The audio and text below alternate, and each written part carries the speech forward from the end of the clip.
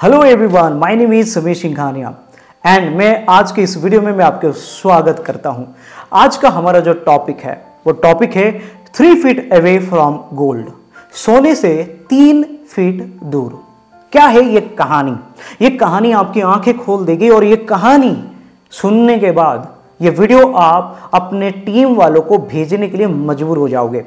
Guarantee देता हूँ video थोड़ा सा लंबा हो सकती है, ध्यान से सुनना। और स्किप मत करना। स्किप करते रहेंगे तो आपको वैल्यूएबल इंफॉर्मेशन नहीं मिलेगा।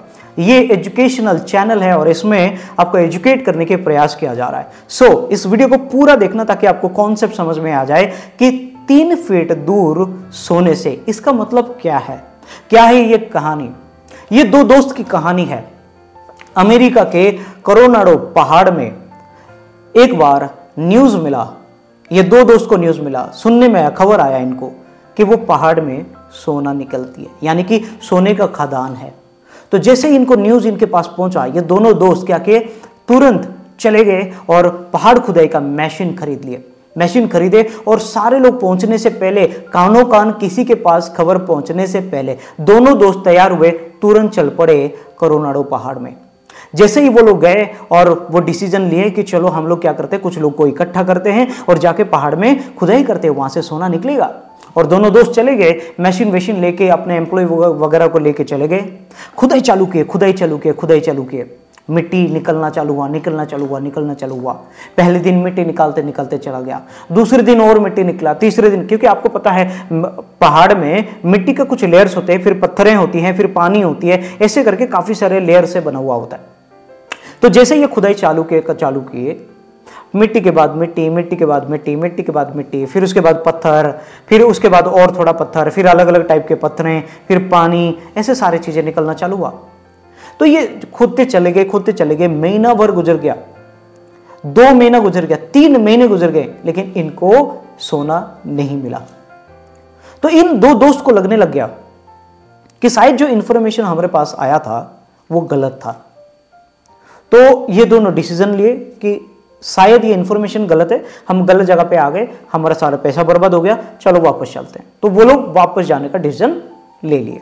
अब डिसीज़न तो ले लिए। अब वो क्या किया? सारे एम्प्लॉय को बोलेगे चलो भाई, चलो चलो, निकलो। अब यहाँ से हम क्विट करेंगे और चले जाएँगे। हमें गलत न्यूज़ मिला है। वापस आ जाए। पहाड़ के नीचे कबाड़ी का दुकान था। एक कबाड़ी का दुकान था तो वो क्या बोले कि चलो ये मशीन हमारा और किस काम का? अब सोना ही नहीं मिला, इसको लेके घर में जाके क्या घर का घर खुदाई करेंगे? तो इसको लेके चलते हैं और ये जो कबाड़ी दुकान है उसको बेच देते हैं। चले गए कबाड़ी वाले को बार्गेनिंग के, कबाड़ी वाले बोला कि, साहब, इतने दोगे तो मैं, इतने लोगे तो मैं मशीन ले लूँगा, यानी कि इतने रुपए में मैं ले लूँगा। तो वो लोग एग्री हो गए, बोले क्या करना है? वो मशीन घर में कुछ नहीं करना है, इसको क्या करते हैं? हम बेच ही देते तो बेच दिए कबड्डी वाला वो मशीन रख लिया। अब कबड्डी वाला का काम क्या था? कबड्डी वाला का काम वो मशीन खरीदा और आगे जाके बेच देगा। बेच देगा, वो कुछ मुनाफा ले लेगा। यानी कि 100 डॉलर में अगर खरीदा तो 150 में बेच देगा। 50 डॉलर उसका मुनाफा। यही तो कबड्डी वाला का काम है। लेकिन उस दिन कबड्डी वाले का दिमाग में एक बात आया। क्योंकि कबड्डी वाले पूछा कि, सर, आप ये सारे लेके कहाँ गए थे? वो बोले कि, यार, मैसेज, खबर मिला था कि इस पहाड़ में सोना है। खुदाई की लेकिन तीन महीने से खुदाई को कुछ भी नहीं मिला। वापस आ गए। फिर कावड़ी वाले सोचा कि चलो, ये तो मैं आगे बेच दूँगा ये मशीन्स लेकिन क्यों ना मैं एक मशीन लेके एक बार ट्राई करूँ? लालच तो कबाड़ी वालों को भी है, सोना तो उसको भी चाहिए। तो वो कबाड़ी वाला क्या क्या मशीन लेके पहुँच गया वो पहाड़ के ऊपर। वहाँ पर पहुँच के वो क्या क्या खुदाई चालू किया, खुदाई चालू किया, खुदाई किया। मात्र तीन फीट के बाद पहाड़ी जो कबाड़ी वाले हैं कबाड़ी वाला है, उसको सोना मिलना चालू हो गया। ओनली थ्री फीट के दूर में उसको सोना मिल गया। और सपना देखा था अमीर बनने का कौन? ये दोनों दोस्त, जो इतना पैसा खर्चा करके तीन महीने तक मेहनत किए थे। और खोद खोद के, खोद खोद के वो एम्प्लॉय लोग को सैलरी दिए होंगे। मशीन का खर्चा हुआ होगा। तीन महीने परिवार से दूर रहे होंगे। एनर्जी मनी टाइम और सपने सारे जुड़ा था। लेकिन ये तीन महीने वापस चल गए और वो जाके पहले ही दिन सोना खोद के निकल दिया, क्योंकि मात्र तीन फीट के दूरी पे उसको सोना मिल गया। और रातों रात कबाड़ी वाला बन गया अमीर कबाड़ी वाला। सोने से भरपूर सोना निकाला और वो कबाड़ी वाला अमीर बन गया, उस एरिया का अमीर आदमी बन गया। दूर दूर तक चर्चा फैल गया। दूर दूर तक चर्चा फैल गया। यही है नेटवर्क मार्केटिंग। समझ में आया कुछ? चलिए मैं आपको सिंपल तरीके से समझा देता हूँ। यही है नेटवर्क मार्केटिंग यानी कि आप एक ही कंपनी में लगातार दो महीने, तीन महीने, चार महीने मेहनत करते हो, आप दस लोग का टीम बनाते हो, बीस लोग का टीम बनाते हो, बड़ा सपना देख के आते हो, शुरुआत में कंपनी हर कोई कंपनी अच्छी लगती है दो तीन महीने के बाद कंपनी की थोड़ी बहुत कमी नज़र आने लगती है और कमी को देखते ही लोग डर जाएँगे। क्यों? ये जो ये जो प्रॉब्लम दिखती है कंपनी में कमी दिखने लगती है, ये क्या है? पहाड़ पहाड़ में जब शुरू शुरू में आप खोदते हो तो मिट्टी खोदना चालू होता है। यानी कि शुरू शुरू में हर चीज़ नया नया लगता है। पहले दूसरा महीना, पहला महीना, दूसरा महीना, तीसरा महीना, वो कंपनी आपको दुनिया का बेस्ट कंपनी लगता है।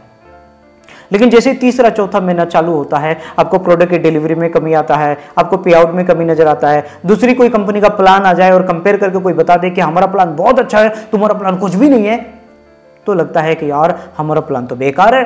फिर धीरे धीरे प्लान में कमी नज़र आता है, फिर आपके एमडी में कमी नज़र आता है, फिर गवर्नमेंट की गाइडलाइन आपके डॉक्यूमेंट में कमी नज़र आता है, फिर सिस्टम में कमी नज़र आता है, फिर ऑफलाइन में कमी नज़र आता है, फिर धीरे धीरे धीरे क्या करते हो आप? अपनी मशीन वगैरह लेके आप निकल जाते हो। मशीन वगैरह लेके आप निकल जाते हो। आप निकल तो जाते हो, लेकिन आप कितने महीने खो देते हो वहाँ पे पहाड़ में? आप तीन महीने तक खोद चुके थे। यानी कि छह महीने तक आप उस कंपनी में काम करके कुछ टीम बना लिए थे। जो आईडी आपको मिला था उसमें आईडी के लेफ़्ट में कुछ बिज़नेस जा चुका था राइट में कुछ बिज़नेस जा चुका था, आपका नाम बन गया था, आपको लोग उस कंपनी के नाम में पहचानने लग गए थे। आपके टीम वाले उस कंपनी के नाम में आपको भरोसा करने लग गए थे। आपके टीम वाले आपके सपने के साथ सपने जोड़ने लग गए थे। ये सारी चीज़ें हो चुका था। अब पत्थर देखते ही थोड़ी देर पत्थर की खुदाई की आप और पत्थर पे पत्थर निकलता चला गया तो आपको लगने लगा कि यहाँ सोना नहीं निकलेगा, यहाँ पर खाली पत्थर ही है। और आप क्या कर रहे हैं? आप कंपनी छोड़ के चले गए। एग्ज़ाम्पल दे रहा हूँ, आप कंपनी छोड़ के चले गए और कोई दूसरा आदमी आया और आपकी एडवांटेज वो लिया और तीन फीट दूरी मेहनत किया और वो अच्छा सेटल हो गया और वो कामयाबी तक लेके चला गया। नेटवर्क मार्केटिंग में यही होता है।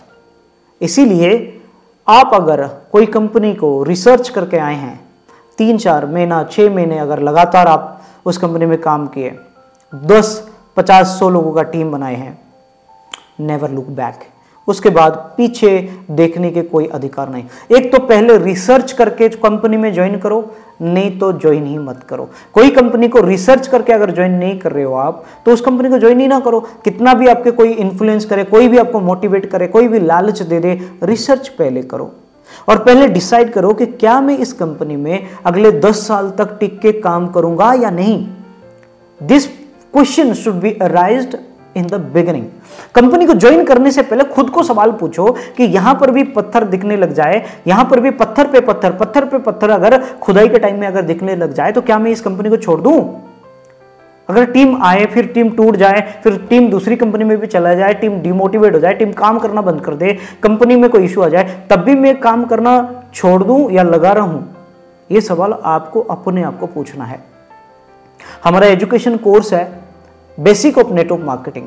इस एजुकेशन कोर्स में माइंडसेट की एक डोमेन है। उसमें पूरे डिटेल में समझाया हूँ कि एक डायरेक्ट सेलर का माइंडसेट कैसा होना चाहिए 10 साल तक टिकने के लिए कैसे माइंडसेट होना चाहिए, वो माइंडसेट का 10 वीडियो बना के मैं दिया हूँ कोर्स में।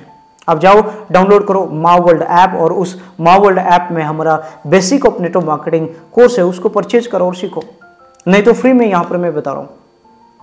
पहले क्वेश्चन करो, क्या मैं दस साल रुकूँगा? और रुकना ही नहीं है दस साल। तो उस कंपनी को करना क्यों है? दो लोगों को सपने दिखा के जोड़ना क्यों है? इसी प्रोसेस जब आपको रुकना ही कोई कंपनी में नहीं है, फिर भी आप किसी लोगों को जोड़ रहे हो, और तीन महीने के बाद आप ही कोई कंपनी को छोड़ के जा रहे हो तो जिनको जोड़े हो ना, उसको जोड़ना नहीं कहते। उनको बोलते उनका ज़िंदगी बर्बाद करना। तो सोच के देखो, आप, अगर आप जिस कंपनी में अभी काम कर रहे हो, उस कंपनी में जुड़े हो और उस कंपनी में जुड़ने के बाद अगर आप तीन महीने के बाद छोड़ रहे हो और दस लोगों को ज्वाइन कराए हो, चाहे हज़ार रुपए के ही प्रोडक्ट क्यों ना हो, लेकिन सपना बहुत बड़े बड़े दिखाए हो और अगर उस कंपनी को आप छोड़ रहे हो तो सोच के देखो आप कितने लोगों का लाइफ बर्बाद किए आप जोड़े नहीं। सपना दिखाए और सपना तोड़ के जा रहे हो। इसका मतलब उनके सपने को कुचल के आप जा रहे हो। इसका मतलब आप उनका सपने को छार खार और बर्बाद करके जा रहे हो।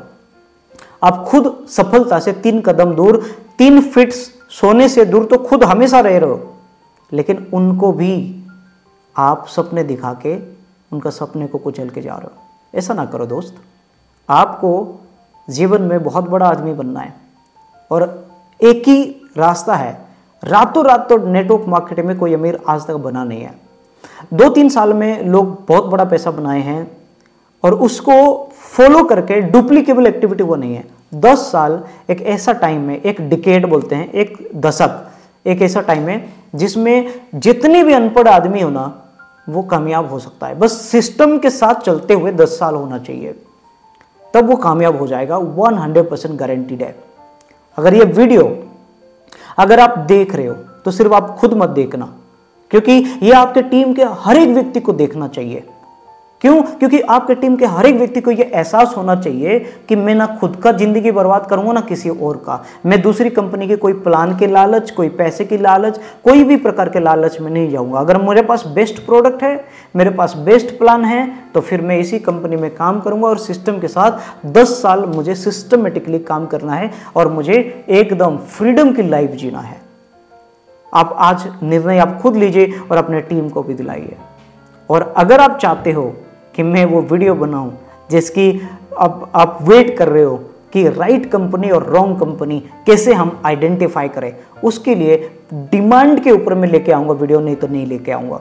लेकिन बहुत एक्सक्लूसिव होगा, आपके माइंड में एक पिक्चर क्लियर हो जाएगा कि कौन सी कंपनी करना चाहिए, कौन सी कंपनी नहीं करना चाहिए। नया कंपनी करे, पुरानी कंपनी करे हाँ कोई लीडर पैसा दे रहा है, उसके साथ ज्वाइन करे। आपको कोई पचास हज़ार दे दिया, आप उसके साथ ज्वाइन कर रहे हो। क्या, कैसे ज्वाइन करो आप? आपको कोई खरीद रहा है, एक लाख रुपए दे रहा है, पचास हज़ार रुपए दे रहा है, उसमें खरीद के चले गए आप बिकाऊ बन गए, आपकी कीमत पता चल गया, इस इस कीमत में आपको कोई भी खरीद सकता है। आज ये कंपनी पचास हज़ार दिया तो कल वो कंपनी एक लाख देगा, कल डेढ़ लाख देगा, लेकिन ऐसे घूमते घूमते आप तो बूढ़ा हो जाओगे ना।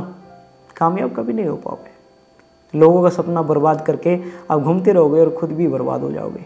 ऐसे कभी नहीं करना। और अगर आपको लगे कि मैं वो वीडियो लेके आऊँ तो कमेंट करके ज़रूर बताना। वेल, वीडियो पसंद आया हो तो आप लाइक ज़रूर करिए और कमेंट ज़रूर करिए और मुझे पता है आप शेयर करोगे क्योंकि आपकी टीम को ये बहुत ज़्यादा ज़रूरत है, मुझे मालूम है। और सब्सक्राइब का जो लाल जो बटन है, इसको कुछ भी करो बट प्रेस हो जाना चाहिए और सब्सक्राइब हो जाना चाहिए। सब्सक्राइब करिए क्योंकि बहुत मेहनत करके मैं आपको डिलीवरी कर रहा हूँ। और मुझे मालूम है आप बेल आइकन भी ज़रूर दबाना ताकि ऐसी वीडियो हमेशा आपके पास पहले पहुँचे और आपकी टीम बर्बाद होने से पहले आप बचो और आपकी टीम में प्रोफेशनल नेटवर्कर खड़े हो जाए। मिलूँगा आपको अगले वीडियो में। तब तक के लिए गॉड ब्लेस यू नमस्कार।